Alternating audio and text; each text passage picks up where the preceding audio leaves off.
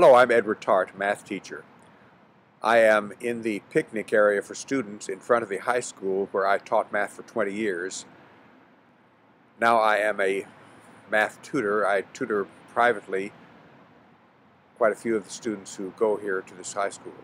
I have a math challenge for you with prizes available in case you want a prize.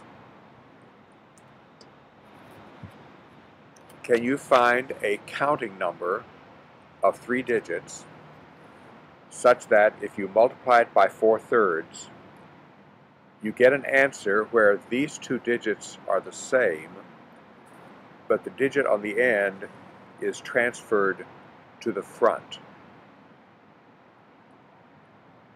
There's more than one correct solution to this puzzle.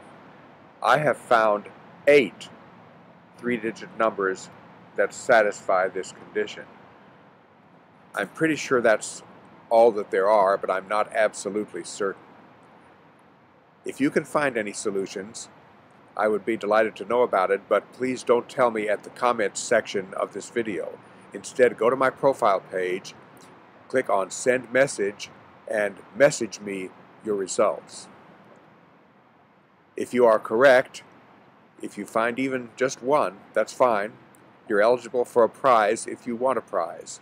And the prize that I can offer you is an audio file of a piano selection from my archives. If you need help deciding whether you would like a prize, you can go to my piano videos section of my profile page to that playlist and watch one or more of those videos. If you do want a prize, be sure to include your email address. In any event, if you work on this challenge, I hope that it will give you mental stimulation and pleasure. Thank you for watching this video.